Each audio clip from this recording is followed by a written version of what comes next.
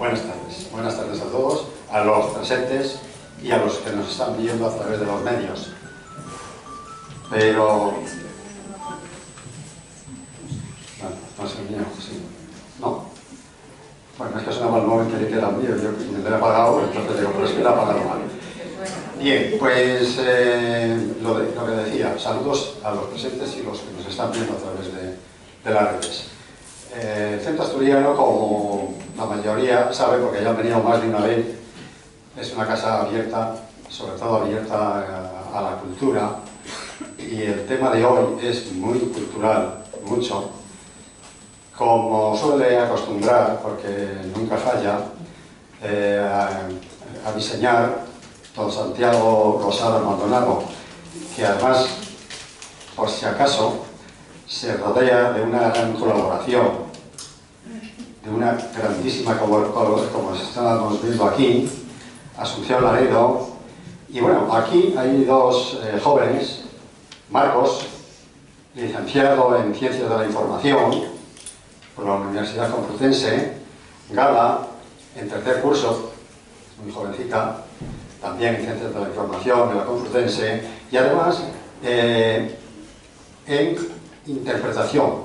Ambos eh, están haciendo pinitos para luego subir al escenario, ya están subidos, pero se bajarán de todas maneras. Hoy se bajarán a distraernos la vida con el teatro. El teatro es una de las artes eh, grandes porque el teatro tiene un, una complejidad respecto del, del, cine. El cine puede repetir 20 veces una escena hasta que al, director le acomoda y tal. Aquí no hay eso, aquí es pura artesanía y cada día pues, puede salir diferente. No quiere decir que sea malo ningún día, pero puede haber matices distintos. El teatro es complicado, es, es un arte muy serio.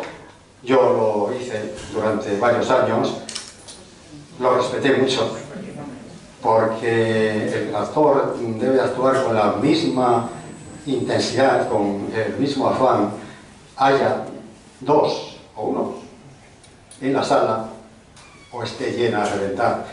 Que duda cabe cuando está llena a reventar, lo mejor es que sin querer nos infunde o infunden ánimos al actor. Pero bueno, está obligado, el actor está obligado a ponerlo todo, porque si hay una sola persona, se merece todos los respetos de los actores. Bien, eh, hoy mmm, el tema es un tema muy interesante, como lo ha titulado Concha Espina, el inexplicable olvido de una escritora virtuosa que rozó el Nobel.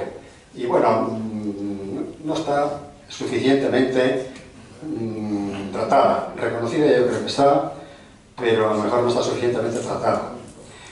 Y bueno, pues eh, ya he citado a Santiago Losada, a Asunción Laredo, y son los que nos tienen que regalar, regalar um, y llenar los oídos de satisfacción porque así va a ser, con la colaboración de estos dos jóvenes, que también he citado, y creo que lo vamos a pasar muy bien, vamos, yo estoy seguro que lo vamos a pasar muy bien. Y entonces nada más, porque los que tienen que hablar son ellos y yo me callo y nada más. Pues saludos a todos y a prestar atención a lo que vamos a oír. Gracias.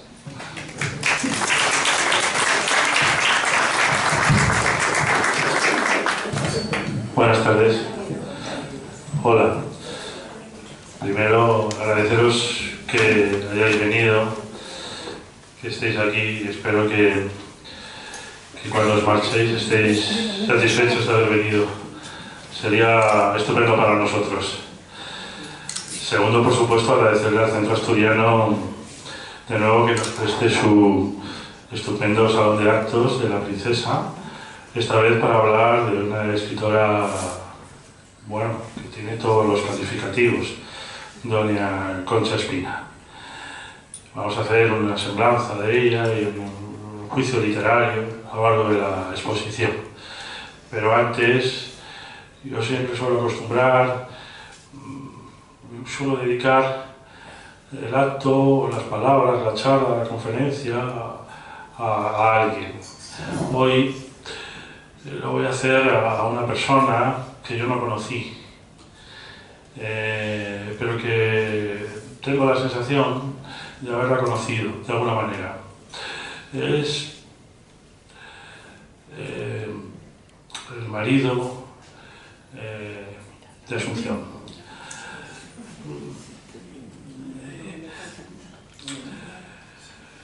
Él, cuando hablas con Asunción, siempre en la conversación aparece su nombre. Para bien o para mal, pero siempre es para bien. Fue una persona querida, como dice el verso, en el ahora y también en el luego. Perdió la vida mm, como consecuencia del COVID durante la pandemia, él y siete amigos más. Bueno, no sé si fueron siete, siete amigos más. Bueno, pues para ellos nuestro recuerdo y, las palabras que digamos de Don Concha.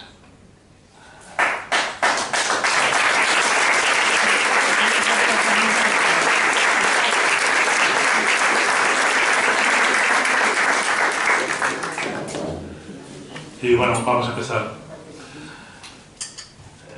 Yo he elegido un momento de la vida de Concha Espina para marcar eh, un antes y un después.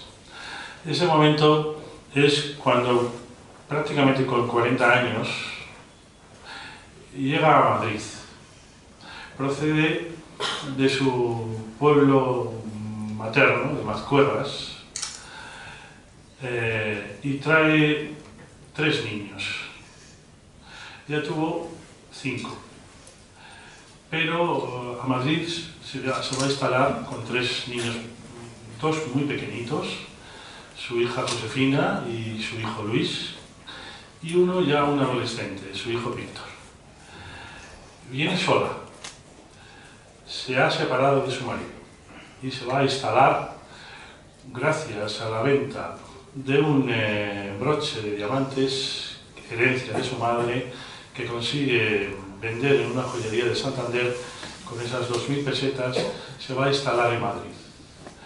En esos años, en 1908, las mujeres no tenían derechos ni, prácticamente de ningún tipo, pero tampoco podían alquilar un piso.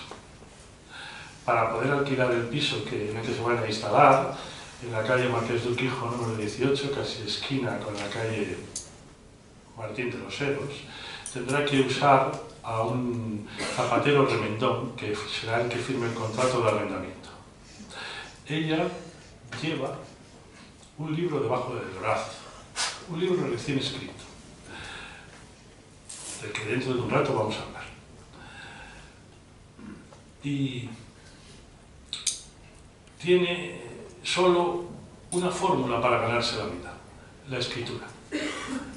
Con ese libro y unas pequeñas, esas dos mil pesetas, y sus colaboraciones en la prensa de entonces, va a intentar ganarse la vida, honradamente. ¿Qué ha pasado?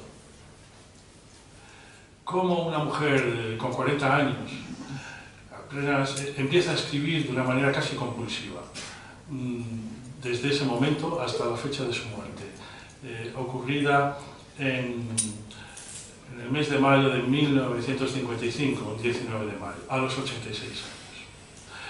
Pues se ha separado de su marido, con el que se había casado a los 18 años. Ella nace en Santander en 1869 y es la séptima hija de una familia de 10 hermanos. Pertenece a una familia infanzona y que tiene pues, propiedades, pero mmm, las cosas no les van a ir bien. Y cuando ella apenas tiene 12 años, la ruina económica llega a su familia. Eh, y su madre va a morir poco tiempo después, con 16 años, cuando tenga ella 16 años. Y su padre, que ya nos lo contará Asunción, es asturiano y consigue un trabajo administrativo en las minas de, de Marqués de Comillas. les dije que nació en Santander, pero la casa materna donde se va a refugiar es Mazcuerras, el pueblo de Mazcuerras. M-A-Z-C-U-E-R-R-A-S. Y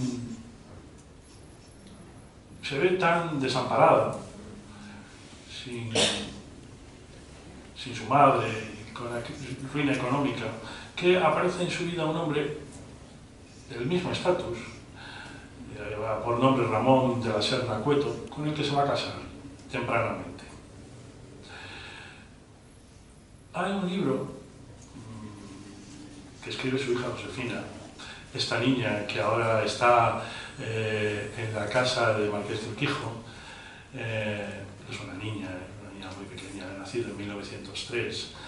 Esta niña luego será eh, la mujer de un notable concertista de, guitarra, Regino Sainz de la Maza, y tomará el nombre de su marido y perderá el nombre de Espina.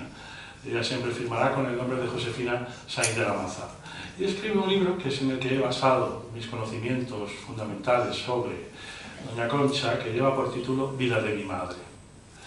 Bueno, pues en ese libro cuenta, sin contar, cómo fue esa relación que mantuvo con su marido, Ramón de la Serra Cueto. Fueron 16 años de matrimonio insoportables. Lo explica con un solo verso con una frase. En los ojos, la pena. En la boca, el sigilo.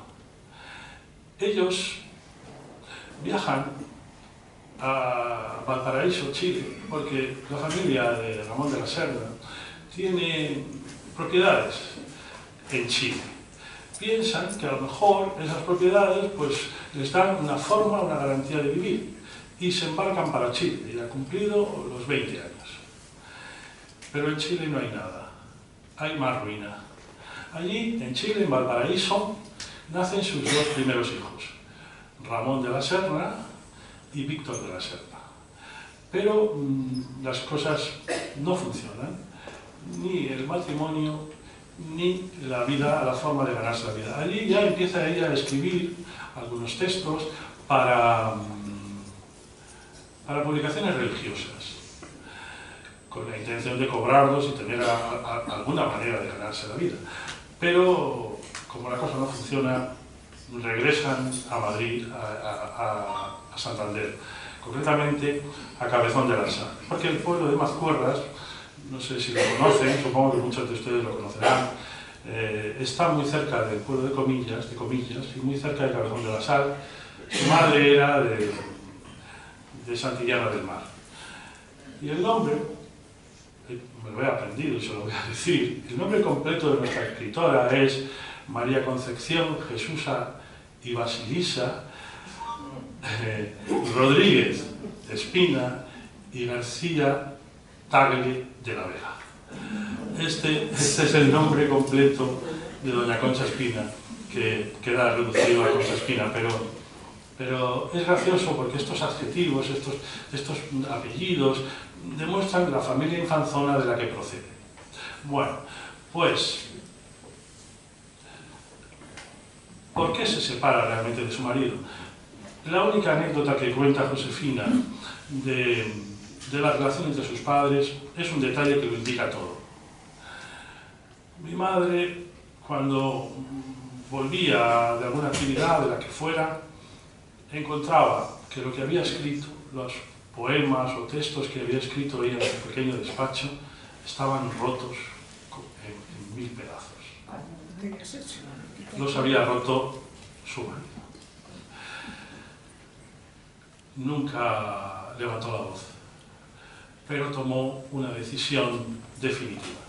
Con el amparo de un familiar, el tío Manolo, consigue convencer a su marido para que abandone Santander cuerdas y se instale en México. Y así acaba su relación con él. Consigue, gracias a la ayuda de Enrique Menéndez Pelayo, el hermano de Marcelino, y de su mujer, vender la joya que les he dicho, herencia de su madre, y con eso se instala en Madrid. Esto es más o menos la primera parte de la vida de, Doña Concha. La primera parte les dije que traía un libro debajo del brazo.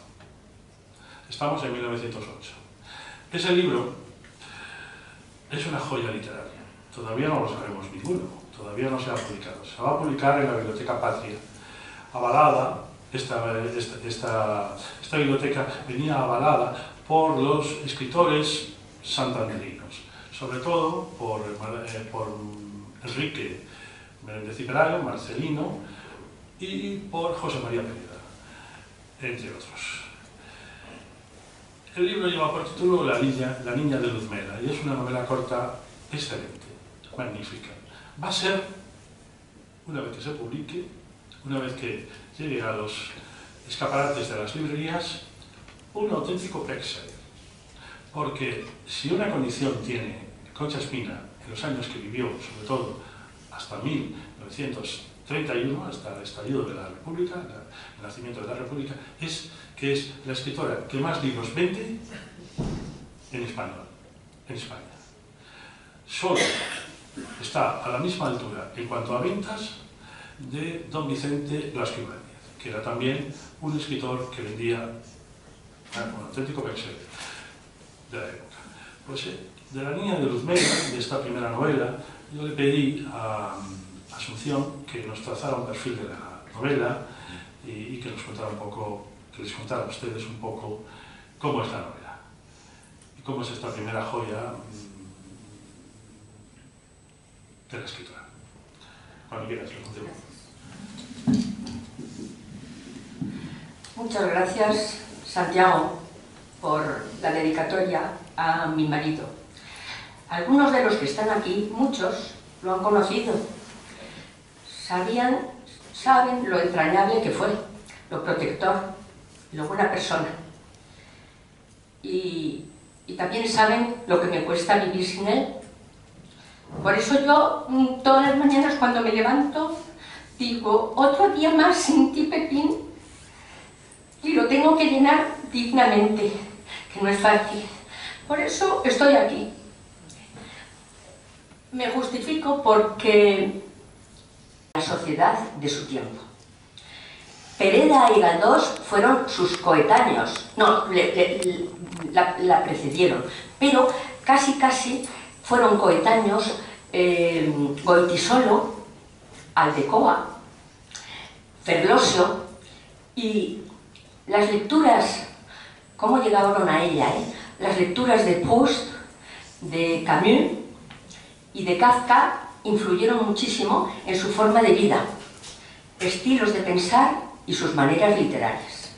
Pero tratemos de La niña de Luzmela. Es una novela corta. ¿Y por qué ese nombre? Cuando mm, en, su, en su región no existía ese nombre. Pero es que un tío suyo eh, se había enamorado de una, de una indita que se llamaba Luzmela y entonces prefirió mm, que este nombre fuera el protagonista de, de, esta, de su obra. Eh, ese, ese, tío Manolo, que va a darnos un nombre por su historia personal con la India Vela, será también quien le proteja a ella del posible, las posibles agresiones de Ramón, su marido, cuando le confiesa, le dice que se quiere separar el tío Manolo, esto lo cuenta muy bien en ese librito que les he dicho, Vida de mi madre, en un capítulo específico dedicado al matrimonio y a la redacción de Luz Mental. Cuando termina, cuando termina de escuchar la historia del tío Manolo sobre la India chilena de la que se enamoró, encontró el nombre Luzmela para la protagonista de la historia. Y a partir de ahí, Luzmela se convierte en una región literaria a la que, como la Vetusta de, de, Clarín, o como la región de Benet, como el Macondo de, de García Márquez. Eh, es un espacio literario concreto, que es el suyo, el de Mazcuerras y el Valle, y que ella maneja muy bien. Y le da esa luminosidad. esa, esa localidad, en el año 47, 1947, tomará el nombre de Luzmela. Ahora, no lo sé con certeza, si sigue manteniendo el nombre de Luzmela o, o comparte los dos nombres, Mazcuerras y Luzmela. Bueno, esto es un apunte, pero no... Seguimos. Sigo. Narra esta novela la emotiva historia de una huérfana, Carmencita, hija ilegítima de un señor hidalgo y muy poderoso, don Manuel de la Torre y Roldán, que después de consumir su juventud borrascosa, se refugia en su palacio y vuelca en ella una ternura febril. Y su testamento equivocado la pone en el seno de una familia hostil. Y así define al Señor como yo eh, transcribo muchos textos de él, lógicamente. Dice, mm, un, so- un soñador quejoso, delirante, que cantaba, corría, tocaba el piano, se reía a carcajadas. Y su servidumbre se hacía cruces diciendo, está poseído. El testamento que otorga es el de un señor feudal.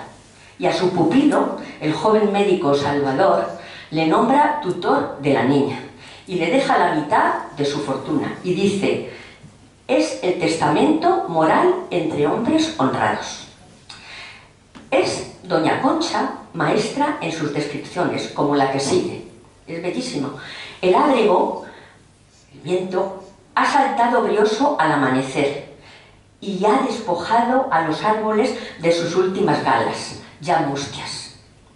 Y en párrafos siguientes anuncia el espíritu del indiano, ese hombre de aldea eh, que en ocasiones eh, sale de, unos pueblos muy humildes eh, y emigra a América. Y cuando vuelve quiere demostrar su poderío construyendo un, un palacete, una casona, y ayuda a construir una iglesia, a las escuelas, los lavaderos y en algunas zonas incluso el cine.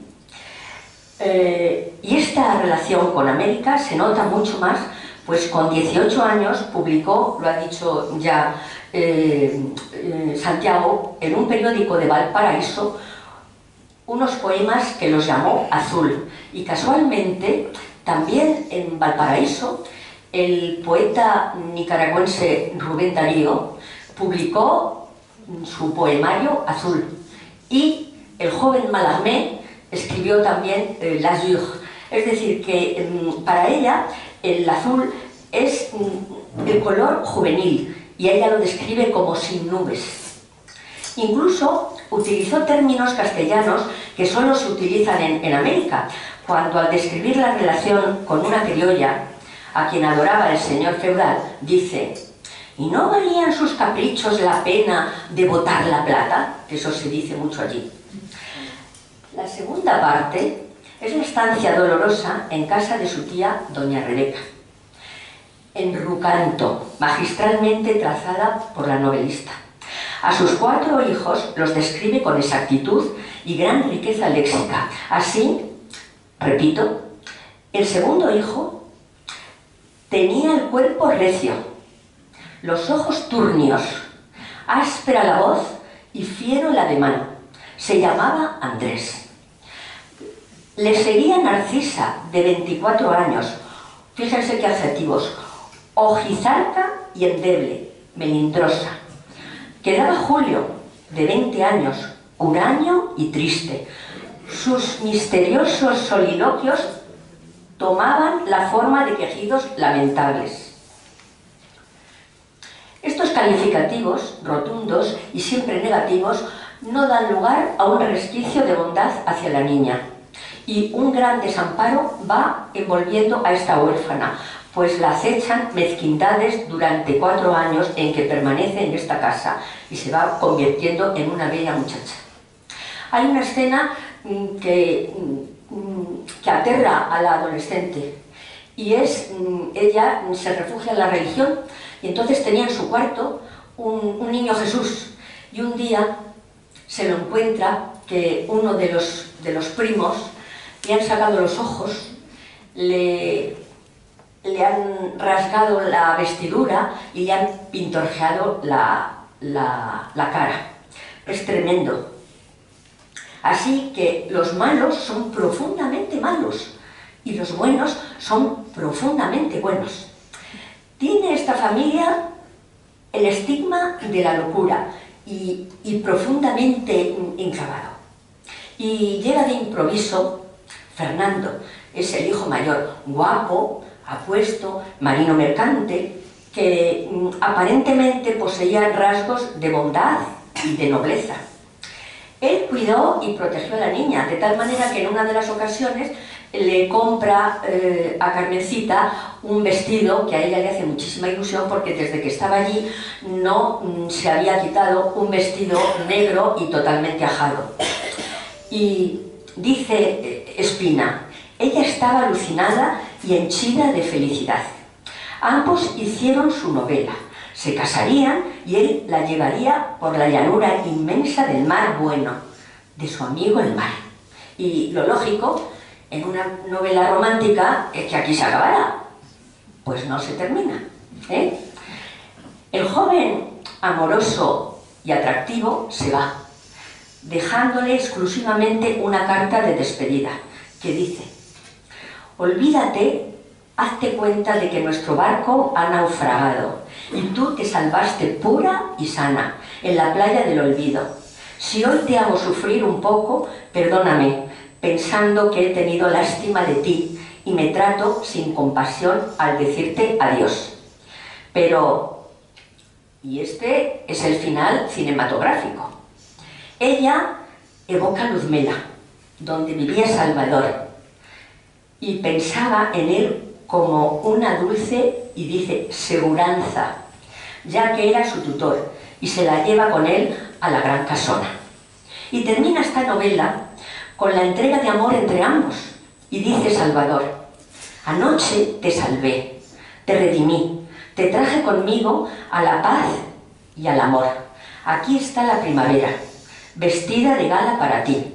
Aquí está mayo, lleno de rosas y la mañana de mi esperanza ha salido el sol, ya toda la vida para ti es luz. Y ella, con una sola frase elocuente, responde, sí, ya me acuerdo, estamos en Luzmela. Y colorín colorado, esta historia se ha terminado. Y yo simplemente les quiero mm, reconocer que mm, para mí en esta, en esta pequeña novela eh, tiene tres puntos muy importantes, que son el argumento, su lenguaje exquisito y es un estudio de una psicología aplicada respecto a los personajes. Eh, ya les ha dicho que le asesoró mucho eh, los, los, hermanos Menéndez Pelayo. En La niña de Luzmela describe el ambiente, la confluencia entre almas y paisajes, luces y pasiones. A mí la descripción que hace del personaje del, Hidalgo me parece la descripción más interesante. Y ella es el primer ejemplo de mujer pura, cercana y valerosa. Los personajes odiosos se nos antojan repulsivos. Tiene doña Concha un gran amor a las palabras y las acoge, las limpia, las gruñe, las hace centellear. Eso dice Gerardo Diego. Y quien a pesar de su ceguera y humildad, es tenaz y obrera de las letras. Y por eso hoy los aquí presentes pues le rendimos este pequeño homenaje. Así que gracias.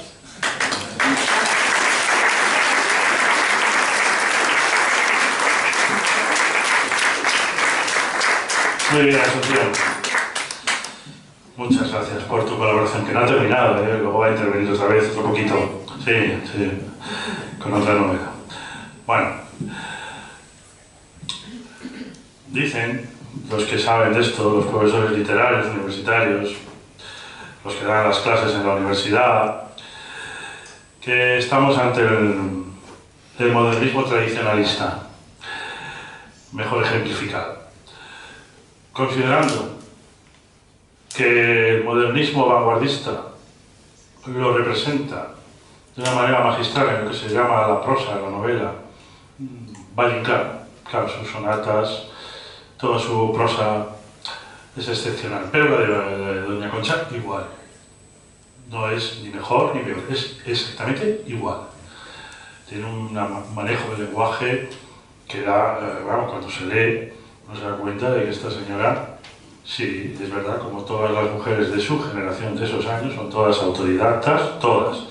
Si dan el nombre de una, Emilia Pardo Bazán, autodidacta. Concepción Arenal, autodidacta. Carmen de Burgos, no, Carmen de Burgos fue maestra.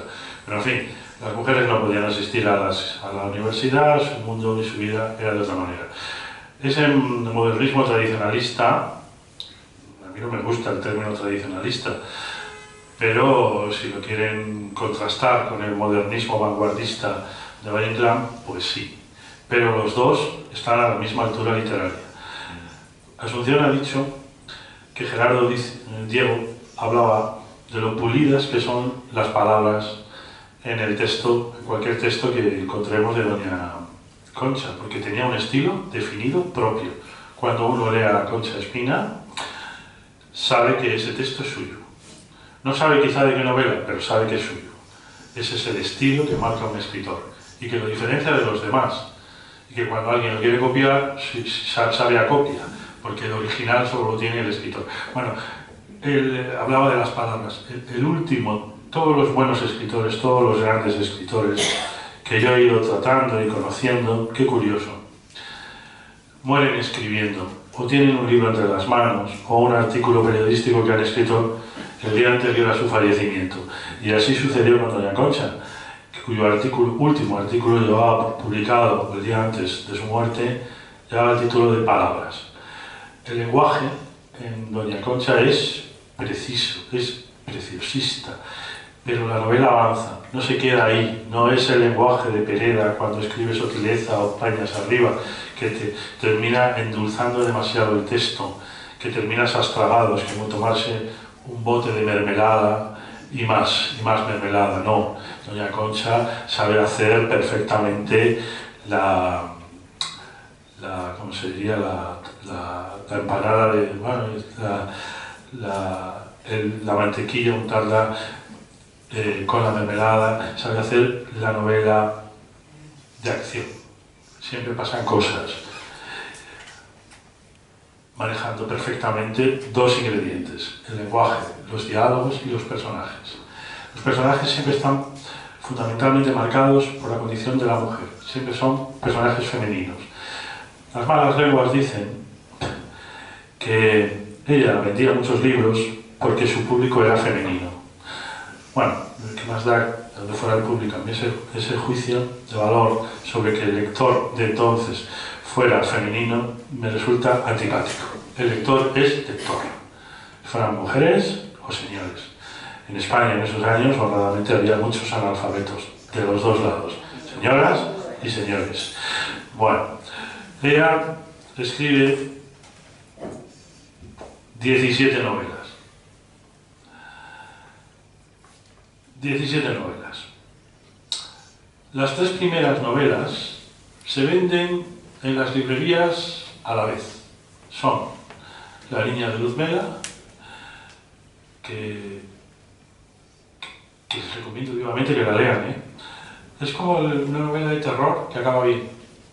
Exactamente así. O como si ustedes estuvieran leyendo La Cenicienta, pero de otra manera. Agua de Nieve, la segunda novela, y Despertar para morir, la tercera novela. La tercera novela, Despertar para morir, créanme, cuando yo la leí, me estaba acordando continuamente de Goethe y de las afinidades selectivas. Continuamente. Digo, pero bueno, si esto es las afinidades selectivas, hecha de otra manera. Por eso me asombro como lector cuando he ido descubriendo la grandeza de esta novelista Ahora explicaremos quizá por qué está en el olvido o ha caído en el olvido. Aunque yo siempre cito al gran Jorge Luis Borges que decía, la meta es el olvido. Yo he llegado antes. Es muy difícil que los escritores permanezcan. Es muy difícil. Y luego, cada vez lo veo más difícil. Pienso que están de moda los que viven, pero una vez muertos, se les olvida. Y, don Jorge Luis, que lo sabía todo, era un sabio, lo dijo con anticipación. En su famoso relato El Inmortal, ¿qué va primero?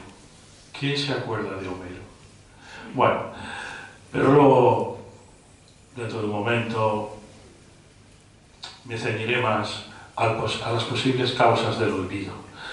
Afortunadamente, eh, Espina tiene la calle justamente circunvalando el Estadio Santiago Bernabéu y por lo tanto mucha gente sabe que esa calle se llama así, aunque no sepa quién es Concha Espina.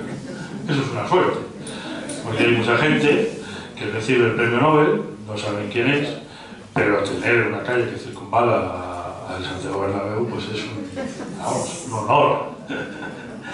Bueno, y una parada de metro en la colonia del Viso, fantástica, que todo el mundo reconoce. Bien.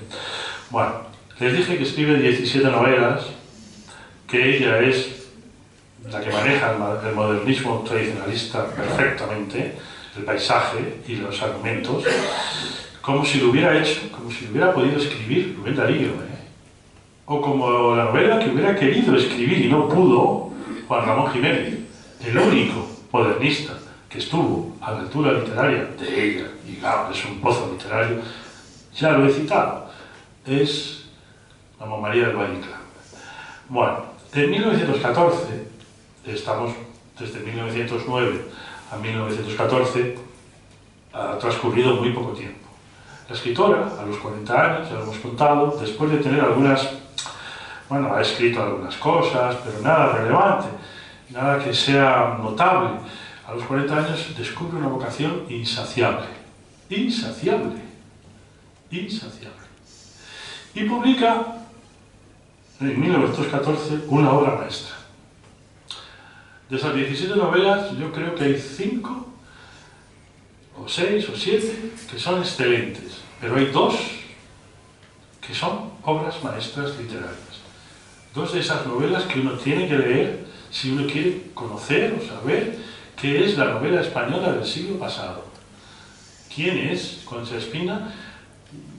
Por esas dos novelas el lector sabe o entiende o aprecia que es una grandísima escritora. La mm, Esfinge Maragata, que publica en 1914, recibe el premio Fastenrath de la Academia de la Lengua y cuenta una historia ambientada en la maragatería, concretamente en un pueblo que hoy todo el mundo pasa por él, que es Castillo de los Polvazales, para tomar el cocido maragato. Pero cuando esta novela se escribe de cocido maragato, nada. Es una novela que habla del hambre, de la miseria, de nuevo de la locura y de la pobreza, en la que vive la malagatería, en la que viven las mujeres de la malagatería.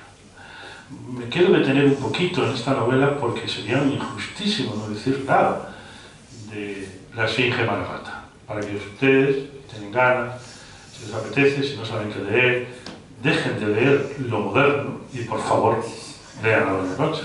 A lo mejor luego se acuerdan de nosotros. Bueno, pues en esta novela eh, aparece de nuevo el tema del indiano, que es muy frecuente en la novelística de, de Concha Espina. Es decir, el hombre que se enriquece, no se sabe muy bien por qué, haciendo las Américas, vuelve a su pueblo de origen y, se, compra, compra la voluntad de una mujer. Yo que soy muy, muy cinematográfico, muy admirador de Luis Buñuel, es el caso del padre de Luis Buñuel, Leonardo Buñuel, que compró a su madre, 30 años más joven que ella, que él. Y eso lo cuenta muy bien Luis Buñuel en sus memorias cuando aquí, en esta historia, esto es un apunte, para que vean que la historia del indiano se repite en las vidas de los oligarcas, de las gentes que entonces tenían el dinero y la propiedad. Compra la voluntad de una mujer. En esta historia, esta mujer, este personaje femenino, no está enamorado del indiano. Ella cree en los grandes valores que son el amor, la amistad, la nobleza, la justicia, lo justo.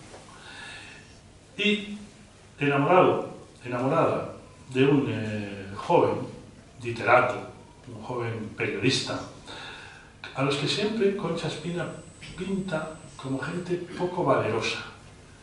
No que sean cobardes para la pelea, sino cobardes para la vida, para enfrentarse a una situación que no controlan, ¿no? para ser fuertes, para, tener, para no claudicar en la, en, la, conducta, en la forma de ser, ¿no? para no renunciar a los valores. Bueno, se enamora de un, de un, eh, de un periodista, de un escritor, de un intelectual, que la traicionará, que no la ayudará. Un poco...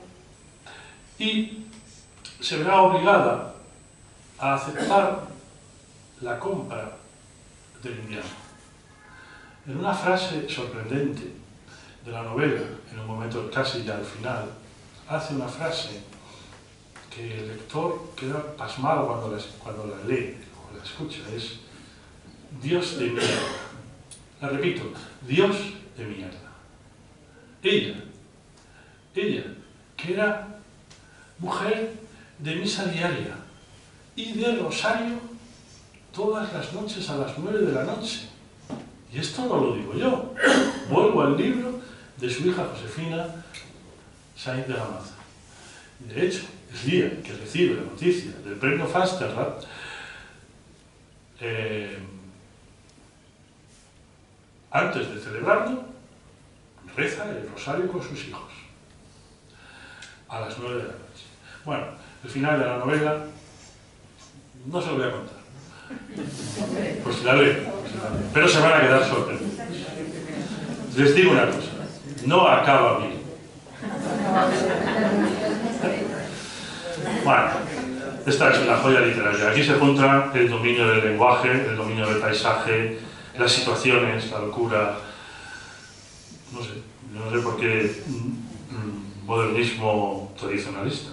Yo creo que va a bueno, que va a ir a mucho valle. Eh, eh, seguramente que habrá la novela, segurísimo.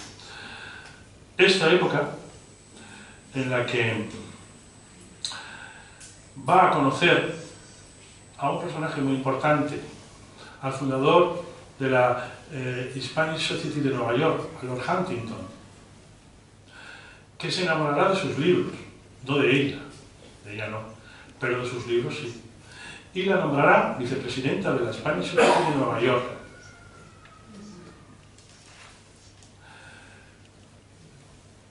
Es decir, la Academia de la Lengua Española no la va a dar un asiento, no la va a defender en su candidatura al premio Nobel, del que hablaremos dentro de un momento, pero un americano enamorado de España, que compra todo lo que pueda del patrimonio y la cultura española que funda en Nueva York, en Manhattan, la Spanish Society, nombra a Doña Concha vicepresidenta de honor de la Spanish Society de Nueva York. ¿No estamos ya ante una escritora importantísima? Pues claro, estamos ante una escritora importantísima, naturalmente. Bien, después de la obra maestra que es la Esfinge Gata, y yo a todo leonés que se precie le digo, léela, hombre, léela. Deja de leer a, a estos nuevos, todos ellos de allí, no, no, lea a estos, lea, a esta señora, pues ya leéis a vosotros, pero lea esto, hombre, lea esto.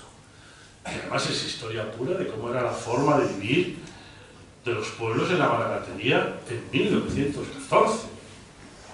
Era, era España por todas partes igual, me parecía, pero y no es una novela real, es una novela realista, pero no es una novela social. ¿eh? Es el último coletazo del realismo naturalista, marcado con la, con la cuña del modernismo, de ese manejo perfecto del lenguaje, de esos adjetivos, de ese paisaje que no se te olvida nunca, porque las estampas del paisaje no se olvidan nunca cuando uno lee. Y además te sorprende. Siempre crees que te va a contar otra vez la misma postal. Pues no, es distinta. No te aburre no es Pereda, no, no, no es la mermelada, no, hay algo especial, no sé, es el arte, es el duende que esta mujer tiene y los demás no. Bueno, vamos a la siguiente novela, que es la razón por la que ahora está aquí mis amigos Marcos y Lara.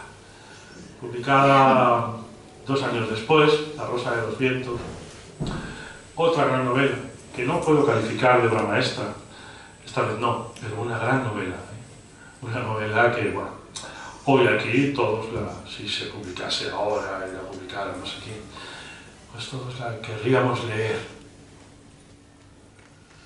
porque es la, la novela de actualidad, la novela de ahora.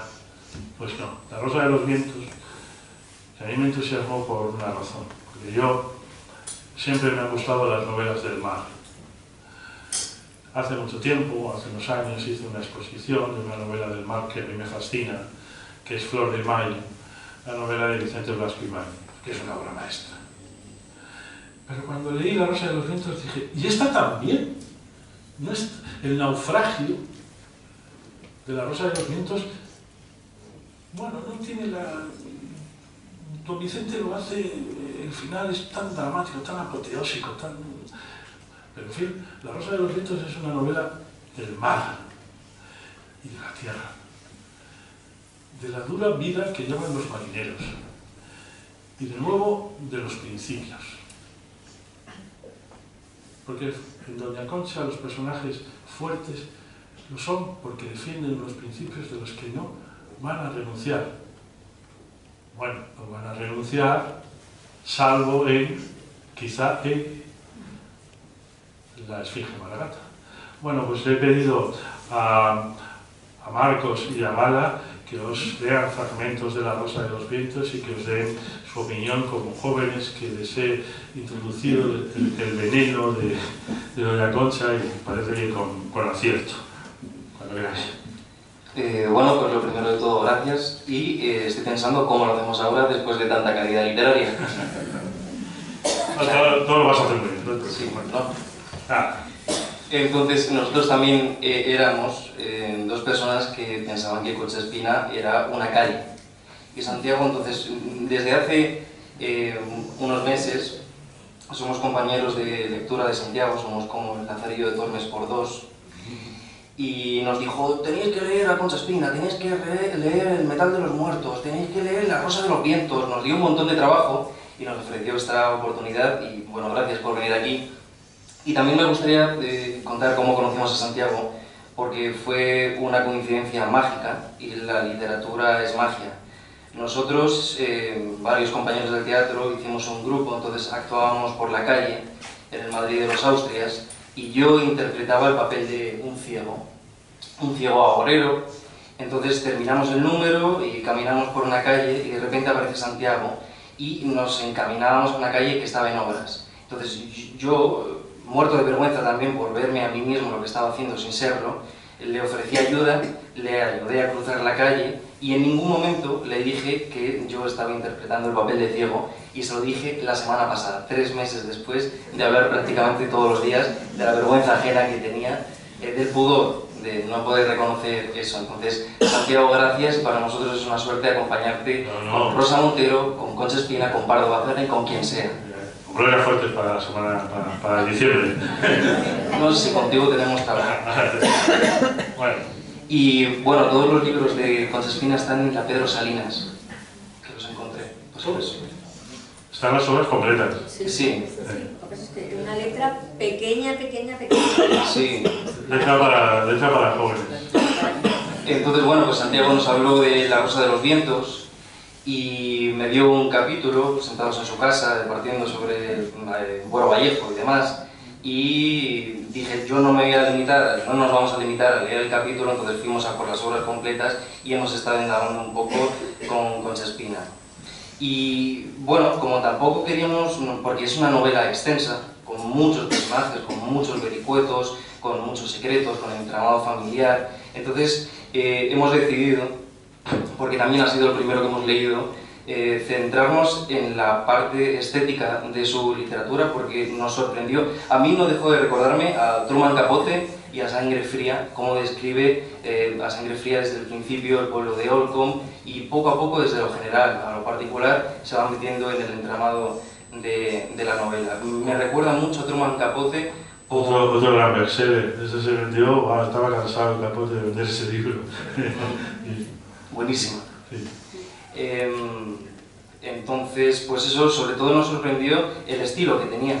Y, y llamé a Santiago y le dije, ¿qué es esto? Qué contemporáneo, qué bonito, qué bueno. Y bueno, pues hemos escogido cinco fragmentos intentando no hacer lo que se dice hoy en día spoiler, sino centrándonos en la manera de escribir de Concha Espina. ¿Nada? No, ya que decir después de todo esto, ¿no? Eh, bueno, muchas gracias a Santiago por traernos aquí. Yo, a nivel personal, estoy súper agradecida y mm, estoy enriqueciendo un montón y se lo agradeceré infinitamente. Gracias, gracias. Y bueno, como bien ha dicho Marcos, pues hemos intentado mostraros lo que a nosotros más nos ha llamado la atención de lo que hemos leído y transmitiros un poco el sentimiento que nos ha causado a nosotros esta novela a raíz de los breves fragmentos que os vamos a leer. Vamos a empezar eh, hablando de la sed de lectura que ella tenía y dice así. Un hambre de saber, una ciega codicia de averiguar, me hicieron disimulada y artera. Escondía entre la labor los libros vedados, fingiendo que trabajaba. Poníalos en los pliegues del abrigo durante mis solitarios paseos, para los cuales siempre obtu- obtuve licencia, o debajo de los colchones, a fin de velar embebecida la lectura. Sí, aquí el, personaje de Soledad, la protagonista, la niña, eh, es, es como cuando descubre la literatura, pero ella lo descubre a través del género epistolar y empieza a enviar cartas a familiares sin ningún sentido, sin ningún motivo y, de cualquier misiva que recibe de un familiar ella saca cartas y cartas y cartas y ahí eso nos llamó la atención porque también en ningún escritor habla de lo que no sabe, por suerte, y el que lo hace yo creo que es mal escritor. En- Entonces ahí ella eh, desvela eh, el interés y la curiosidad que tuvo por la literatura desde pequeña. Y algo que, que nos llamó muchísimo la atención, es, como, como a ti también, es la descripción de las cosas, que es, es como un tejedor. Era un anochecer melancólico que iba cayendo muy despacio sobre el mar. Culminaba la luna en creciente magnífico, algo esquiva entre aguilones de nube, y palpitaban las estrellas con ansia de encenderse bajo el mundo lo de la sombra. Desfallecía el viento en una respiración blanda como un suspiro. La niebla radiaba henchida por el murmullo del oleaje en una solemne mesura, llena de majestad. Halitos de sosiego y dulcedumbre emanaban de la hora furtiva mientras doña Matilde dejaba correr entre los dedos su voz acusadora y sollozante. En el divino encanto de aquella paz rodaba la tragedia encrurecida, más lastimosa, más lastimosa cuanto ruin y oscura. O sea, es como, como un pintor. También nos llamó mucho la atención su parte de yo más existencialista, de cuestionarse el mundo y también el ver nosotros el mundo a través de sus ojos, que son, eh, tenía una mirada preciosa. Mientras tanto, ajenas a mis habituales sentimientos, olvidando mis gustos y costumbres, yo padecía de una alta fiebre de ansiedad, con delirio de lecturas y enervación progresiva de mis fuerzas. Descolorida, delgada, inapetente, vivía como en sueños, dilatados los ojos y el espíritu ante las eternas preguntas. ¿Qué es la vida? ¿Qué es la muerte? ¿Qué es el espacio? ¿Y lo infinito? ¿Y el alma? ¿Y el amor?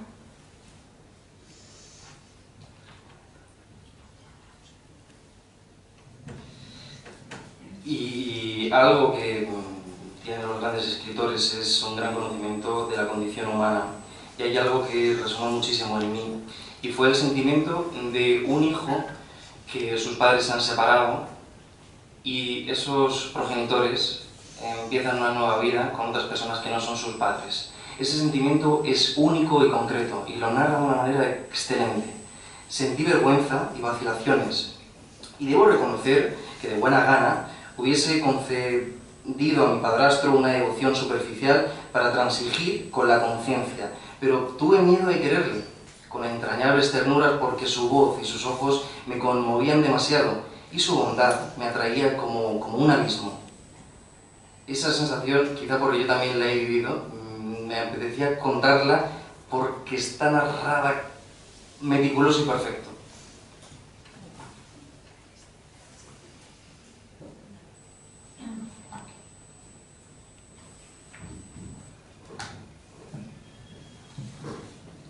También eh, nos encantó y empatizamos un montón con su parte más sensible y poética y el cómo ella vivía, vivía cada detalle y cómo sentía cada, cada, de, cada parte de lo que ella observaba y cómo se detenía a, a mirar realmente lo que tenía enfrente y no pasarlo por alto.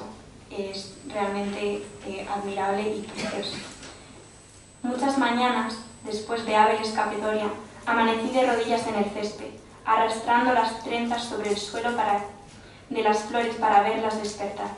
Por verlas dormir, prolongué muchas noches el paseo. Supe cuáles eran las diligentes, las dormilonas, las sensibles, las adustas. Creí sentirlas enamoradas de la luz, ávidas del aire, merosas de la tormenta. Y me apasionó el misterio de sus desposorios, el enigma de su perfume, todo el mudo poema, eh, todo el mudo poema de su vida inocente. Y solo nos queríamos despedir con una frase, y es Y las, olas, jamás cansadas, nos decían desde la ribera infinitas murmuraciones. O sea, ¿cómo describe las olas?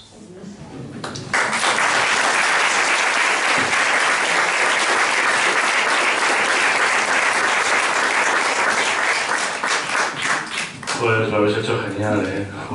Estupendo. No estaré... Lo pensaréis de verdad, ¿no? Lo habéis hecho estupendo. Ah, yo no sabía nada de lo iban a decir, tampoco sabía nada de lo que iba a decir la Asunción, ¿eh? Por eso algunas cosas se pueden repetir, pero no pasa nada. Bueno, en 1920, que es la fecha en la que muere las dos, en 1921 es la fecha en la que muere doña Emilia y en 1920 es la fecha en la que se publica Luces de Bohemia. Con esa horrorosa frase con la que Valle despide a Galdós llamándole garnancero. Es ahí donde le llama garnancero. Lo deja escrito para siempre. Porque los escritores son así de crueles. Bueno, en 1920 publica la obra maestra por excelencia. Yo he dicho La Esfinge Margarita como una obra maestra, pero si tuviera que elegir entre las dos, si ustedes me dicen, me preguntan cuál es el libro, pues el libro es El metal de los muertos. Lo publica en 1920. Tardó año y medio en escribirlo. Fue a los lugares, bueno, siempre que escribía un libro, acudía a los lugares donde el libro se iba a desarrollar. Cuando hace La Rosa de los Vientos, no tiene que acudir muy lejos porque estamos en la costa santanderina, que ya conoce bien. Pero cuando hace La Esfinge Maragata, viaja a la Maragatería. Y cuando escribe El Metal de los Muertos, viaja a Río Tinto, a Nerva, donde se instala, durante unos meses, para conocer el lugar, los espacios, para empaparse de la historia de la gente de allí. Año y medio le lleva a la redacción y finalmente publica El Metal de los Muertos, que tuvo un éxito inmediato, fue como una mecha. Se tradujo a bueno, las lenguas más importantes y supuso una conmoción en la cultura sueca.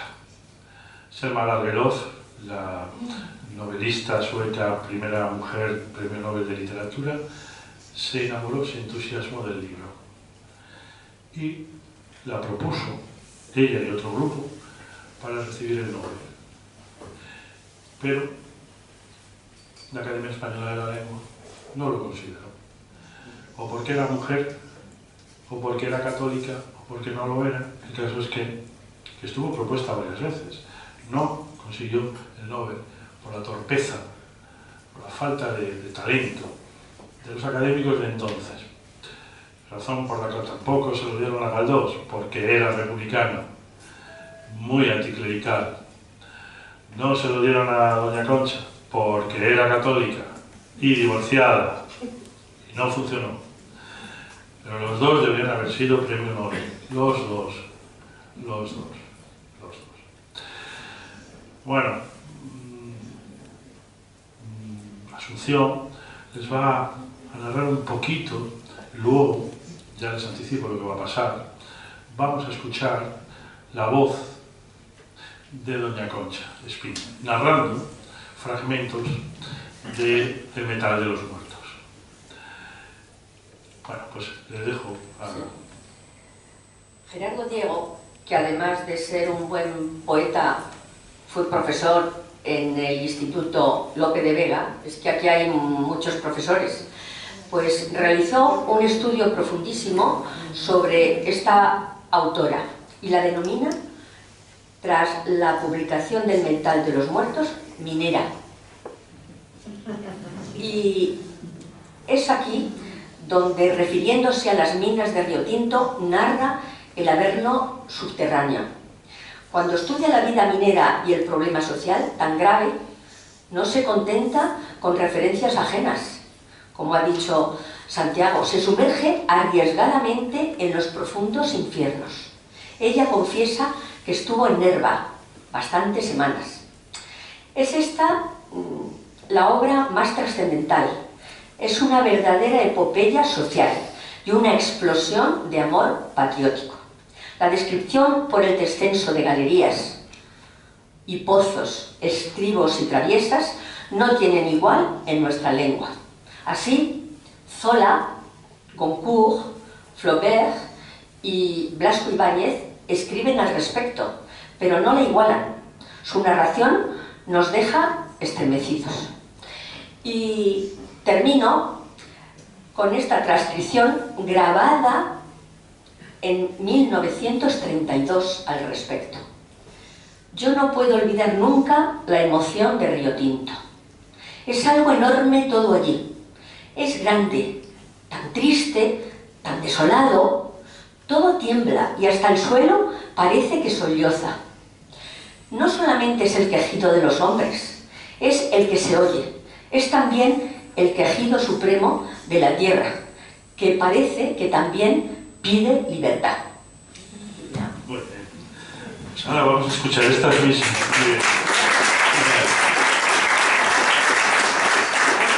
Ahora vamos a escuchar estas mismas palabras, unos fragmentos de, de Concha Espina, de su voz. Les voy a explicar. Primero habla Luis, su hijo Luis, que fue médico, de esos cinco hijos que tuvo. Cinco hijos que tuvo. Ahora lo contaré un poquito mejor.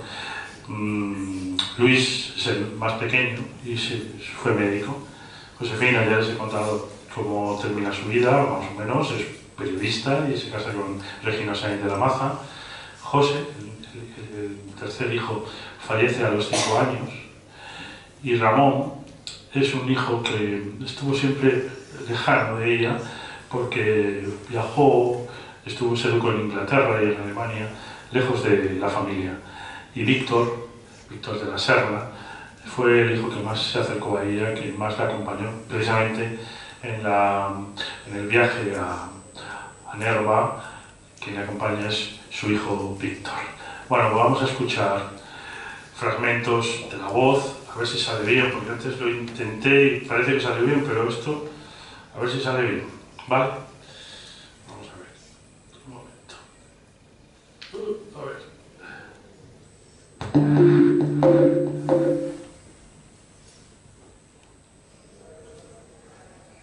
Audio. Enormemente moderna, ella voló en 1916 con Ignacio Pombo en Santander en Morán-Saunier, plano Suiza de la guerra del 14. y bajó a las minas más profundas de Río Tinto, donde caían las gotas de ácido sulfúrico, o sea que ya en esa época subió muy arriba, bajó muy abajo, que era una mujer muy moderna. Bajé a las excavaciones más profundas, subí a las cortas abiertas el regazo de la montaña como cánceres inmensos. Conocí las fábricas, todos los caminos infernales de la esclavitud, los altos hornos, toda la tragedia de los hombres, estos que yo quería pintar en mi libro. Y escribí El metal de los muertos.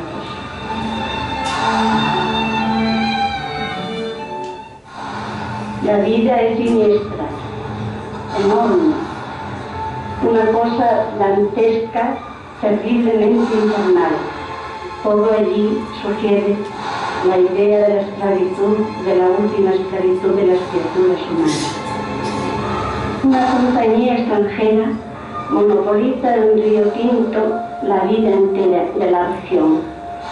Muchos metros y muchos kilómetros de costa azul son allí extranjeros, siendo tan nuestros. La compañía es dueña absoluta de la tierra, del subsuelo, del aire, de las cumbres y de las vidas y las haciendas. Por muy poco dinero se dio todo aquel tesoro español. Se ve a lo largo de la novela claramente el trasfondo social, claramente la dureza del trabajo en la minería, cómo se lleva a cabo esta huelga terrible, cuál es la respuesta salvaje que se hace a esta, a esta huelga, la muerte de las personas, cómo se caen los terrenos por el mal uso de las tierras. Es una novela realmente muy dura. ¿Por qué lo hizo? Por su implicación, yo creo, es por su implicación religiosa. Yo no puedo olvidar nunca la emoción del río Tinto, es algo enorme, ahí es tan grande, tan triste, tan desolado, aquellas cortas inmensas con escalones de tantos metros, con todo el cáncer, con todo corroído, todo, es un terremoto que parece que sacude allí la tierra, todo tiembla y hasta, hasta el suelo parece que solloza. No solamente es el quejido de los hombres el que se oye, es el quejido supremo de la tierra que parece que también tiene libertad.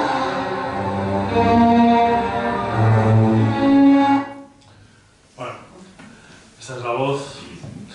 Está sacado esto para que lo. Vamos a contarlo todo, porque no. Pues del, este, del trabajo de Modesta. Ay, se me olvida el nombre. Bueno, de documentos sonoros Radio Nacional de España. ¿Modesta Cruz? Sí. Modesta Cruz, sí. El documento se llama por título El inexplicable olvido de Concha Espina. Pero ahora lo vamos a explicar. Concha Espina, cuando llega a la República en el 31, consigue finalmente el divorcio, después de 20 años de separación. Por fin. Gran amiga de Clara Campoamor.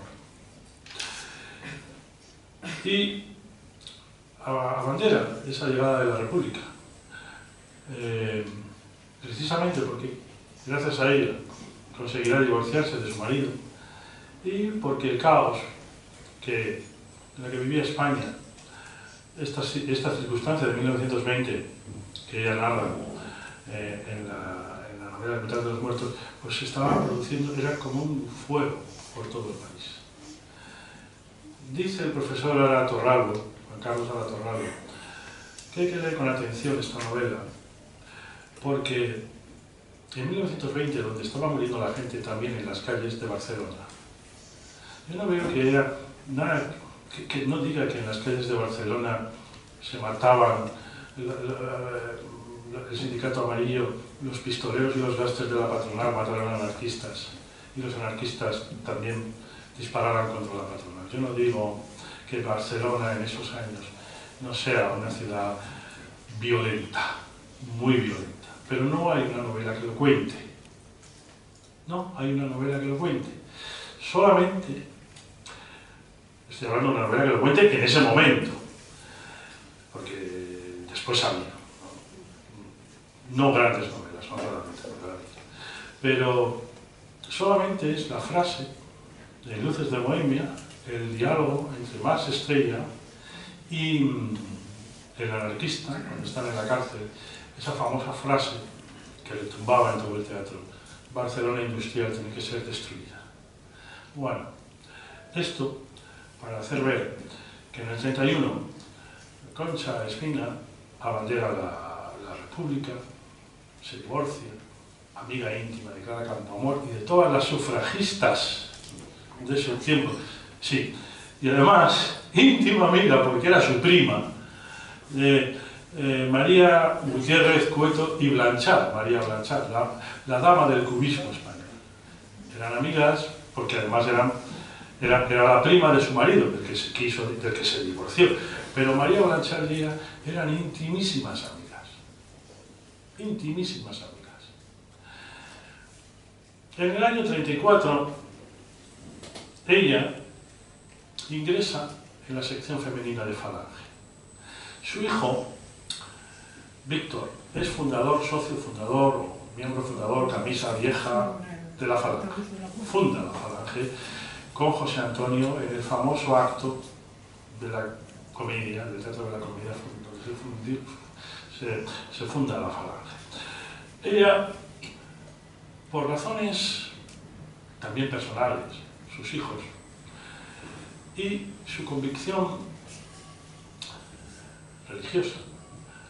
Ella no se sentía cómoda en, la en, en, renovación española, en los partidos de la extrema derecha española, porque era divorciada. Era una católica casada que se había divorciado y además que, que lo decía con orgullo. No que, lo, que, no que lo decía de poquito, no, que lo decía con orgullo. Como, sí, el divorcio era una, una buena solución para muchísimos conflictos familiares. Lo escribió y lo dijo. Bueno, pues esta vinculación a la falange, al falangismo, es la primera palada de arena que caerá sobre ella. Porque ni estarán los republicanos contentos con ella, ni los nacionales tampoco contentos con ella. Tengo una anécdota. Yo, eh, para preparar este, este, este, acto, pues he leído todo lo que he podido de ella. Eh, por gusto, ¿eh? porque cuando hago una cosa de estas, no la hago de un día para otro, de una semana para otro. No, yo disfruto del escritor, lo leo, lo releo, lo miro por acá, por allá, disfruto. Luego vengo aquí y lo cuento. Y tengo, como tengo la suerte de tener a, ellos aquí, pues fíjate. Entonces, lo, entonces yo le pedí a la ONCE que leyera, que me leyeran las novelas que ella escribe durante la guerra civil. Ella pasa la guerra civil en Mazcuerras, futura Luzmela, he dicho que en el 47 cambiará el nombre, futura Luzmela. Ella pasa la guerra civil en la casa de Mazcuerras y allí escribe Retaguardia, eh, Luna Roja, que son cuatro relatos sobre la guerra, y eh, libertad, esclavitud y libertad diario, diario de una prisionera. No, no, no ha aceptado su lectura. Por razones de que hay mucho trabajo. Hay mucho trabajo. Yo creo que ahora que se habla de la memoria democrática, la memoria histórica, si no se lee las novelas que ella ha escrito sobre la, guerra desde el bando nacional, no vale. No vale. No vale. Y no se puede decir que no existen. Están en las otras Están. Y el profesor Aratorralbo, Carlos Aratorralbo, dice, dice que son novelas de la catacumba. Yo, yo no sé qué quiere decir novelas de la catacumba. No sé qué quiere decir con esa expresión. No sé qué quiere decir. Me extraña que diga esa expresión. No es adecuada para un catedrático de literatura como él es. Pero también dice una cosa muy bella, de esas novelas que él sí ha leído, porque puede. Eh, Dice que no son novelas con resentimiento hacia el bando republicano. No, no son novelas con resentimiento hacia el bando republicano. Igual que yo soy un admirador de Masao, de Sender, de Jarnés, de Alconada, pues, pues lo soy de Concha Espina. Quedará ciega a los dos últimos 20 años de su vida. Una enfermedad en el 37 la dejará ciega. No quiere decir que no deje de escribir. Una persona ciega sigue escribiendo, sigue pensando. Yo, soy un ejemplo, pero he visto tantos. Eh, Borges, sin más, que he puesto como ejemplo, ¿no? Homero. En fin, ella seguirá escribiendo con unas técnicas que tiene para, para, para escribir, para no perder el hilo el hilo de la línea, ¿no? para no torcerse, que luego cuando la llamaban o la distraían, escribía sobre lo escrito, eso me ha pasado a mí, y era indescifrable. Y porque según sus eh, amigos, sus hijos, mmm, nunca escribió a máquina y nunca dictó nada. En todo este... Estamos acabando, ¿eh? no os preocupéis, ya esto se acaba. Eh, vamos a terminar con una canción. Sí, sí. En, estos, iba, ese medio del, lo que iba a contar. Sí, en estos años de ceguera no dejó de escribir, pero ya su literatura flojea. Es verdad que termina en la novela rosa y la novela romántica. Su última novela, Un baile en el mar, y una novela de amor, así son los dos últimos títulos, pues ya son novelas, novelas rosas, siguen teniendo esa cualidad de manejo y dominio del lenguaje, eso no se pierde, pero el argumento, el uso de la acción, porque eh, lo que les va a gustar no solo es el lenguaje y el paisaje y los personajes, es el uso de la acción. Ustedes cuando lean El mitad de los muertos, no van a saber por dónde va la novela. La novela tiene una historia, tiene un argumento perfecto, que descoloca al, al, lector. No te aburres y además te sorprendes. Carajo, pasado. No, no porque tiene acción, es una novelista pura, no es una paisajista. Bueno, pues voy a terminar con una canción. Ella, ah sí, quería citar a dos personas que fueron vitales en su vida y que no, no se explica su vida sin estas dos personas. Una fue la persona con la que compartió toda la vida doméstica. Doña Concha tuvo una criada fiel, una chica de su pueblo, se llama Julia de los Ríos, y era la que se ocupaba de la casa, siempre recibiendo las órdenes de Doña Concha. Pero Julia de los Ríos hay que citarla porque es, como dice su eh, Josefina de, la Saint de la Maza, fue la que realmente llevó la casa de mi madre. Ella vivió, primero donde ya les he dicho, luego dos años después se instaló en la calle Goya 77, justamente donde yo he trabajado durante casi 40 años, bueno, 40 años mejor, es decir, a la espalda de lo que es el Palacio de los Deportes, que entonces era la Plaza de Toros, ahí vivió hasta la guerra, hasta que marchó de Madrid para ir a las cuerdas y cuando termina la guerra se instala en la calle de Alfonso XII, número 34, frente al Retiro, muy cerca del casón del Buen Retiro. Y ahí termina viviendo los últimos 20 años Estila. Eh, les voy a poner, a ver si sale también, una canción y una explicación. La explicación mmm, la hace la nieta de Doña Concha, eh, Carmen Said de la Maza, hija de, Josefina y actriz. Y en, el, audio que les he puesto ha aparecido la voz de una profesora mm, Belén Juste, que también es una de las mmm, que mejor saben y conocen la figura de, de, de Concha Espina. Vamos a escuchar la canción, a ver si me sale bien. Y, y luego la despedida.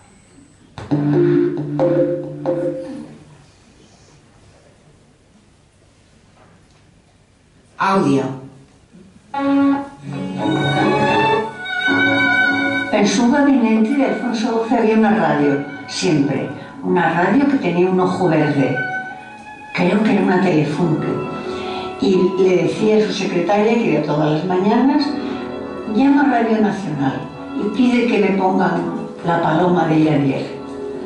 Y se lo ponían. Le encantaba.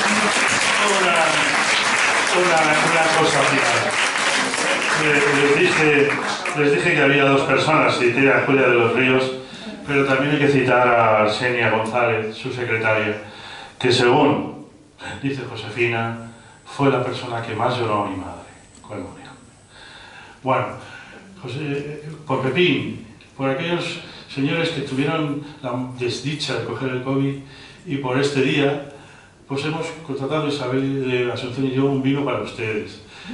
Tengan la prudencia de no abalanzarse, por favor.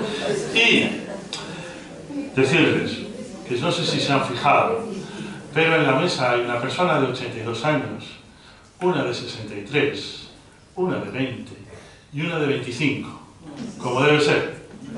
Y además estamos a la par. Dos mujeres y dos hombres. Y, y nada más. Y a lo largo de la exposición no he tenido que usar el masculino ni el femenino. ¿Vale? Ni el género.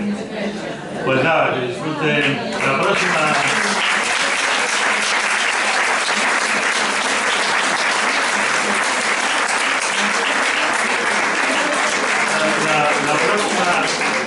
Estaremos aquí Gloria Fuertes y estará conmigo eh, Tatú, María François Tatú, para hablar y, y, elogiar la semblanza de Gloria Fuertes, el 14 de diciembre.